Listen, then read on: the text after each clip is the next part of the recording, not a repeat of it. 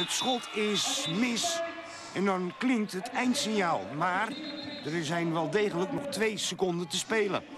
Wat gebeurt er in die laatste twee seconden? Ebernetti plaatst de bal op Frans Tijn en die tikt hem erin. En bezorgt zijn ploeg daarmee de overwinning in Rotterdam. Curieus. De 2 meter 18 lange Frans Stijn